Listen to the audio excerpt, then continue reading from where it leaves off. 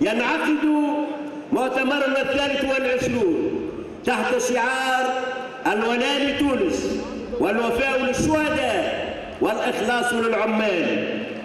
كانت تجارب الحركة النقبية التونسية العريقة وروادها أمثال محمد علي الحامي وفرحات حشاد وأحمد التليلي والحبيب عاشور وغيره وأمثالهم نصب أعيننا.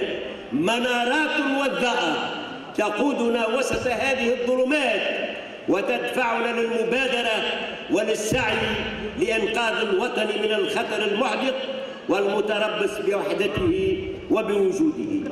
وفي هذا الصدد فإننا ما زلنا نؤكد أن صياغة المنوال التنموي الجديد يقتضي مراجعة جدية لمنظومات التعليم والتكوين والبحث العلمي في إطار مقاربة تشاركية لاستكمال ما شرع فيه بين الأطراف الاجتماعية تأخذ بعين الاعتبار مصالح ووجهات نظر كل الأطراف المعنية.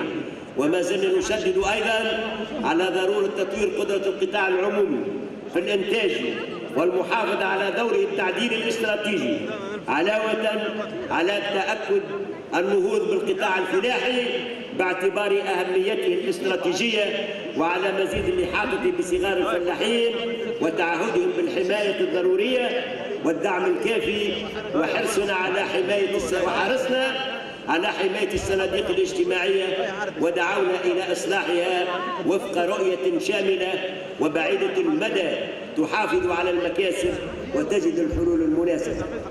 أننا ننخرط في الأولوية الوطنية المطروحة على الدولة وعلى كل المجتمع بمختلف فئاته لمحاربة الإرهاب والعمل على شسات جذوره وعزله عن محاضنه دون هوادة ودون أدنى تسامح أو وأن نغتنم هذه الفرصة لنجدد لنجدد دعوتنا للتعجيل بعقد مؤتمر لمحاربة الإرهاب.